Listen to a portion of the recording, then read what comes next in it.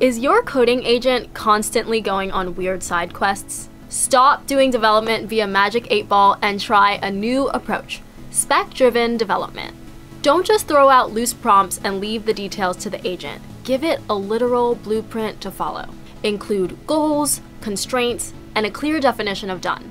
In this spec driven development approach, we're going to use three steps research, plan, and then execute. Here's how each step works. For the research stage, have your agent review the codebase to build understanding of the current situation as it relates to the task. Have it document that understanding in a markdown file so that it's written down. Next, use the research to work with your agent to build a detailed plan for execution. What we're going to do, what we're definitely not doing, and how we're going to get there. This should be pretty granular, including what files to edit and what lines to change. Your job is to review this carefully to make sure it's on target and then you can pass it to the agent to execute.